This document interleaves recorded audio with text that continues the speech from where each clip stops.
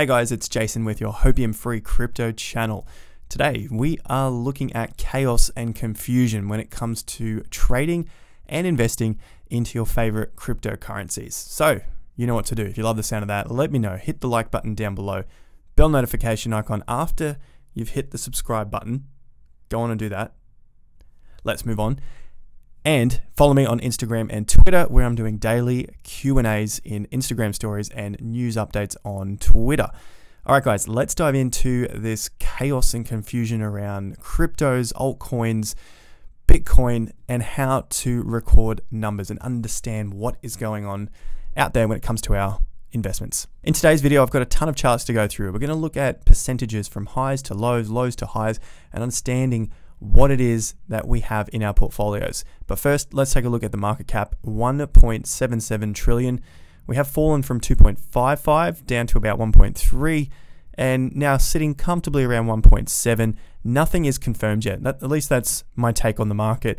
We aren't out of this uh, bear market look of a bottom, but I am uh, still bullish long term as I've maintained throughout this period. The thing that I haven't been bullish on is the Bitcoin values of altcoins, which have been overpriced. In terms of their dollar value, different story. But end of the day, my goal is to stack sats, which means just increase my Bitcoin position. So that's what I'm focused on.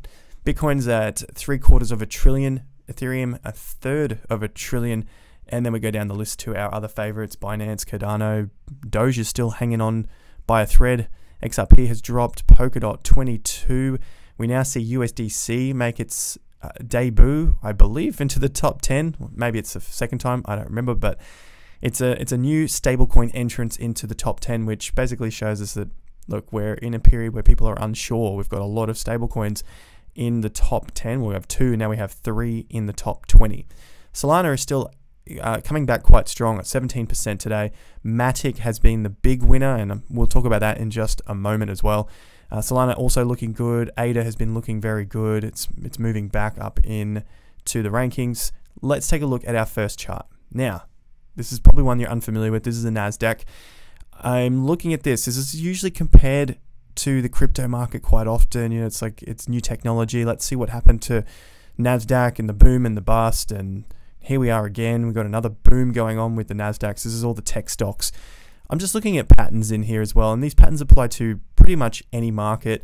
What we're currently seeing at these lows on Bitcoin is a little bit of it. We're getting a little bit of a round here, but we got a lot of strong volume back on the 18th, uh, sorry, the 19th of May. We've been following this. We've been tracking it. This was weak. Remember how important the volume was here as we began to climb up.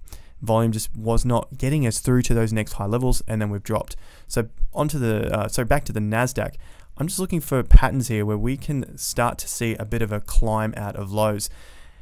And even if we get a breakdown, like we saw here, so this is the NASDAQ back in the early days, in the early 90s, 1990, broke to new highs. We had a crash, broke to new highs, crashed again, taking out these lows, and then it climbed its way back to new highs again.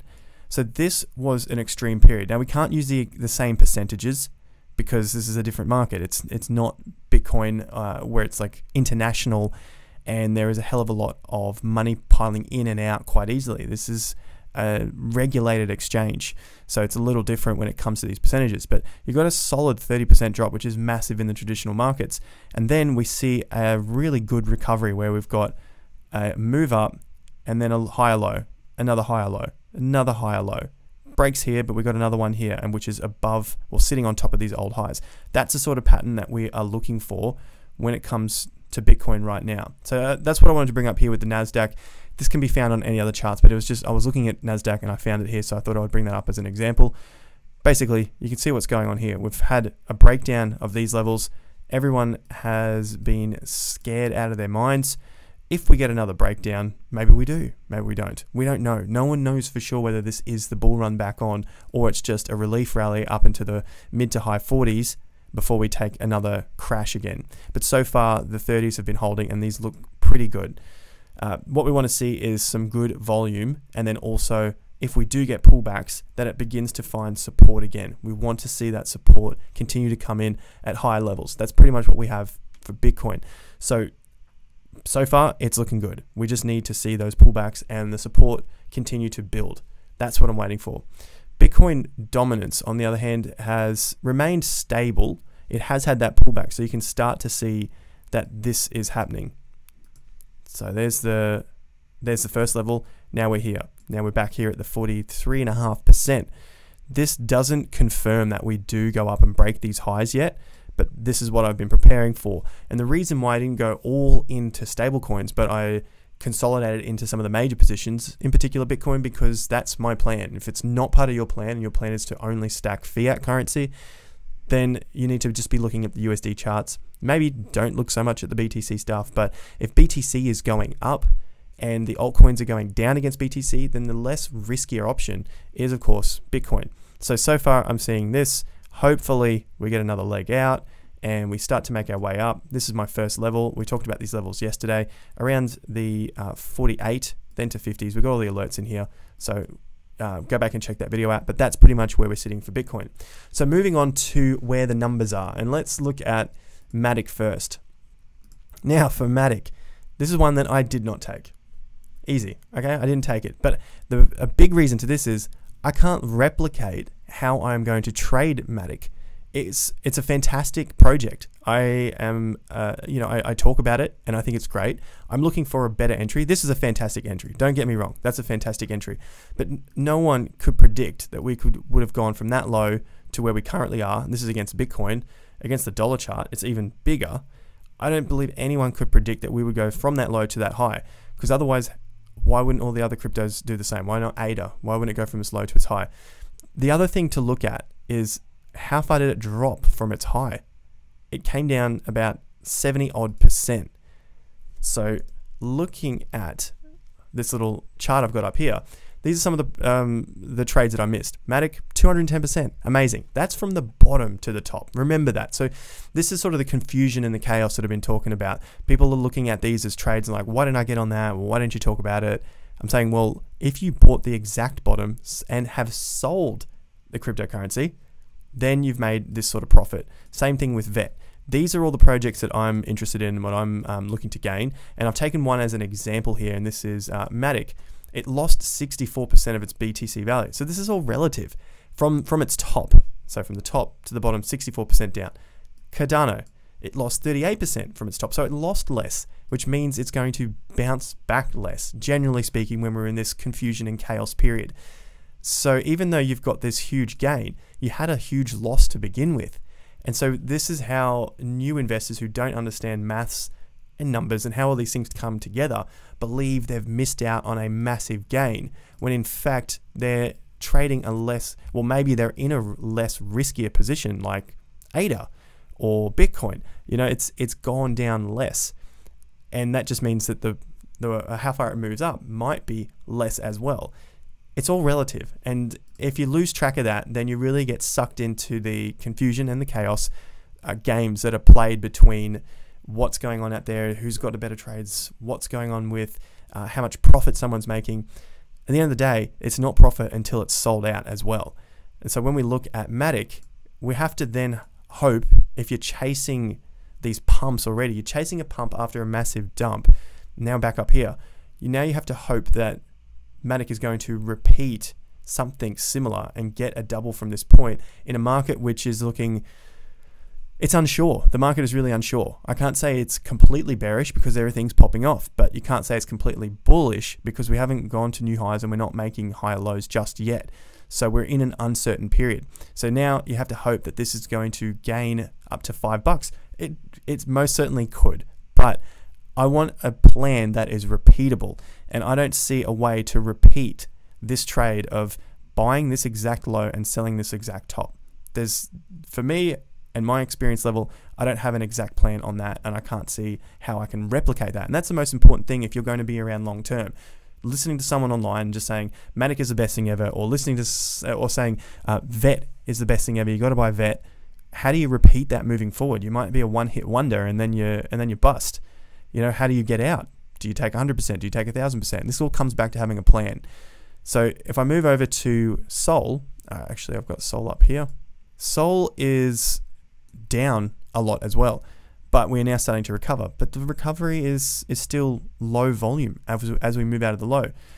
uh, in terms of the dollar value, it was down a hell of a lot. It's like Matic, down a ton, 67%. It did not bounce back as much as Matic, but we've seen a bounce. We've seen 80%, not 200%, but most of these things have bounced back, and that's why it looked like it's a relief rally at the moment. Now, if the dollar values don't hold and Bitcoin has another crash, then their, their BTC value is probably going to fall as well. So I'm out of pocket more. So I'm just doing that as a, as a protection. You know, I want to protect myself uh, in the event that Bitcoin does fall again. I've still got some exposure to the market in case the market goes up, but just in case it doesn't, then I'm still protected. So for Solana against Bitcoin, it has now risen again 65% after its initial drop of 60%. So 60% down. To get back to the high, it needs to go, if I remember my maths correctly, 150%. Yes. So you need to get 150% from that low in order just to get back to where it was from the top after a 60% drop. So remember those figures. I've put them in uh, the playlist of cryptocurrency videos about exit strategies and what to buy with $1,000. All that sort of stuff is going to help you understand the maths behind uh, your trades and whether it's a worthwhile investment or not. Should I buy something now? Should I not? Those things are going to help so much. So let's look at the total market caps as well. This is the crypto total market cap uh, we are sitting at 1.74 trillion. We hit a low of 1.2 trillion. Now, if we use our fibs, our major level we're looking for is the 50%. So we're at a bottom here in March, which is the COVID low. The top is at 2.55.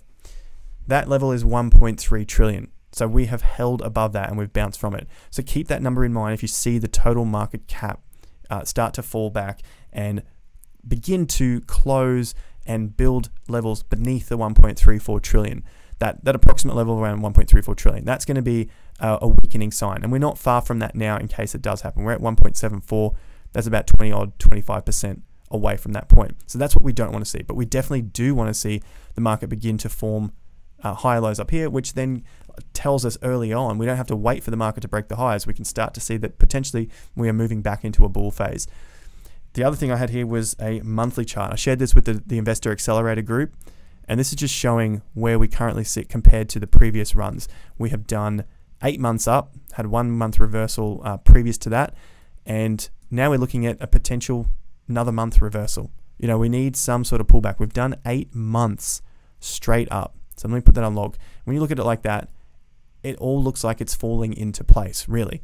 We had from the low in 2015 17 months up. We did have a reversal here early on. Two months back, 17 months up, 11 months back, six up, nine down, five up, one down. So in terms of this stage, it looks like we're early on, but it looks like we will lengthen out this period at the moment. We're only one month down. So we get one, two, three months down. I'm not overly concerned. We've seen it all before. We've seen a couple of months here. We've seen one month already. So this isn't going to be an answer overnight. This is just something that we're going to keep tracking uh, so that we can get an understanding of where we currently sit. Here we go. Let's bring that back to 100. So yeah, around that 1.33 trillion. So that's the the the the low that I am looking at here for the total market cap. Total two. Now this is everything excluding Bitcoin. So log again, we're sitting above our uh, support lines. U- I'm using these on the log scale just to give us a bit of a support and resistance. I'm not tied to these, but they're just giving me a guide at the moment major high, more major highs before we got the breakout on the log scale, bounced off the log, bounced off the log, up again. We've come back to test it, and we're only just slightly above it. Again, with this orange line, it's uh, a log resistance. And so if we get finally get a breakthrough of that log resistance, that is where we go absolutely chaotic. That's the that's the level there. If we can get above it again, then we have a nice massive altcoin season. We want to get to it. So that's what I've got for um, total two. I'm keeping a track of that to see what's going on with the altcoins overall. Is the money flowing into them, or are we just getting a little bit of a, a wind down? As you can see here, we've got a lot of buying come back through the 700 billion level, so I'm going to keep an eye on that as well. VET, we are bouncing back, big bounce back. But remember what we just talked about. This is all relative. Look how far this tanked 70% down from its high it has to bounce back. It's bounced back 140%, maybe a little more, maybe 145%, but it's come a long way down. Let's look at ADA. So ADA Bitcoin. ADA Bitcoin from its high 38%. So half, uh, half of what uh, VET was doing. But the bounce back has been obviously a lot less. So 45%. So in terms of a trade, if you're buying VET at the bottom for the first time, fantastic. You've done amazingly well. But if you're holding it from the top, then you get the drop of 84%, and then you get a bounce back of 140%. It looks amazing, but really, this is the area to keep in mind is top to where we currently are. And ADA is only 11, if you want, call it 11.5, 12% from its all time high. VET BTC, on the other hand, all time high to where it currently is, is 28% down. 28% down. So from the close to the high, you still need another 40% to get there. Whereas for ADA, to get back to its high from where it currently is, it only needs 13%. So I'm not saying it's going to get there. I'm just saying look at the risk that you are using instead of just, oh, that was a fantastic trade and I missed it. You know, don't worry about that. That's the, the chaos and the confusion that is caused in a flash crash, in a possibly short term bearish outlook on the market. So just keep that in mind if you guys are going through your uh, your trades and looking at different cryptos and feeling down about not picking up something and you know it's done 200%. Remember you need to have bought it at that low and sold it at that current price to get that return. The other thing is look at what uh, what you were holding, and you don't know what these other people were holding beforehand. Maybe they were holding everything. Maybe they bought everything at the top, saw an 80% drop. Maybe they had some more money and they put it in. It's all relative to what is going on in the market, and it just depends on what your plan is about, whether you are a high risk or medium risk, moderate risk, or a little bit lower risk, and you're trying to diversify. Uh, or at least consolidate, sorry, into cryptos which are lower risk. And for me, I see those as Bitcoin, Ethereum, Cardano, potentially Link as well. And there's a few others, but just for an easy look at a portfolio, that's pretty much the way I see the market. So I hope you found some value from that and it's been able to uh, remove some of the confusion, some of the chaos that goes on, especially when these dips occur. You know, there's numbers flying everywhere. There's a whole lot of red dumping, uh, and then all of a sudden there's a whole lot of green growing up uh, on the on the charts again. You've got 15% flying off, and 20 odd percent going elsewhere and you're just like, I'm missing out on everything. Why didn't I get these? Uh, sometimes it's just easier just to step away and not worry about it because at the end of the day, you just don't know what's going to happen tomorrow, especially on a short term outlook where we see just daily bars moving up as a potential relief rally, the volume's drying up, maybe we get a pushback. Maybe we go up and test some more support levels. Nothing is confirmed yet. We need to see some higher lows and then a break of those highs and a continued move up with some volume. That's what, at least that's what I'm waiting for. Thank you once again, guys. Smash the like button if you found some value from the video. Remember to subscribe to the channel, bell notification icon. We have a newsletter going out tomorrow, free newsletter. Drop your email address down below. We're going to look at uh, stocks, Coinbase and Tesla. We're looking at cryptos, so stay tuned for that, and the property cycle as well, whereas we run into our peak in the mid 2020s. If you're not into property, it's still important to understand what the cycle is doing overall because that is where the biggest money is. Okay, so that's going to help a hell of a lot and keep you out of all of the, the noise and the confusion when it comes to the world should be crashing, that sort of nonsense, uh, doomsday stuff. So, once again, like the video up. I'll catch you guys at the next video or on Twitter and Instagram. Links are down below. ADA stake pool. Link is down below for that too. Make sure you join join up for that. We've had our first block and got a really good reward, somewhere around 7%. Looking good. Catch you guys at the next video. Until then, have more fun to get more done.